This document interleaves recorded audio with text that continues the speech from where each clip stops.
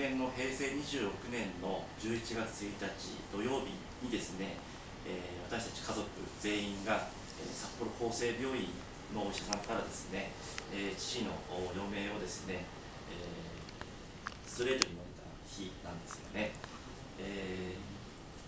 なかなかこう現実としてですね受け止められないところもあったんですけれども平成、えそうです10月28日にまず母が、えもう残りわずかですと話したいことがあればですね、えー、随時聞きながらですね、えー、気持ちを整理するようにというようなことを聞いて、えー、私は出張先の東京でですね、え母から、あのその報告を受けたんですけれども全く涙が止まらない中でですね、えホテルでも飛行機でも地下鉄の中でも、まあ、本当にあのお父さんだったらあと2年とか3年とかもしかしたらあの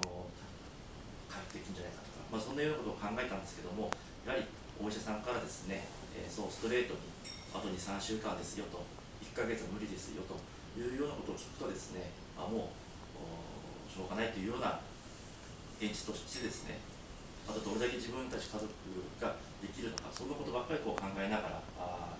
23週間、まあ、3週間もしませんでしたけどもね2週間時間を大切に過ごしてきたところであります。でこの1年間の間にですねあの政治家になる人もいる中でですね、えー、私たちあの まあですねいやお父さんの夢見たんだとかですねあの分厚いステーキ食べたいなとかああとはなんか一緒に母が曲行ってる夢見たりだとか、まあ、そういうようなあ夢を見るたんびに、えー、母にメールを送ったりだとか、まあ、時には電話したりだとかいうようなことをしながら、まあ、姿形はありませんけれどもね、まあ、気持ちの中では、まあ、なんとなく楽しい顔を浮かべながらですね過ごしてきたところでありました。ただ僕たちあの家族の中だけではですねこのようにあの明るくですね今日の日を迎えることができるわけではなくてですね、えー、常日頃母から聞いていたのはですねあの本当の山本家っていうんでしょうかねご兄弟の方々からの度重なる電話やメール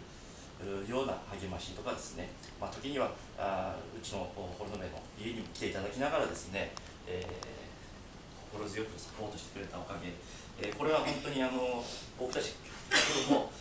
サトシと僕だけではですね当然のことながらあの母を支えることができなかったわけなのでそれは本当に重ね重ね感謝の気持ちでいっぱいであります。本当にありがとうございます、まあ、このような一周期のですねというのは、まあ、父のためにあの来ていただいたというのもあるんでしょうけれども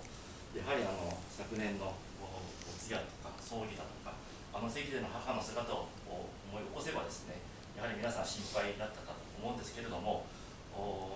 いろいろと緊急のことは聞いてると思いますけど夏の夏からですね母はあの仕事もするようになりましたし最近は LINE を覚えましてね、まあ、あの社会とのつながりも たくさんあの最先端では、えー、持つようになりましたんで。あの時の1年前の母とはおそらく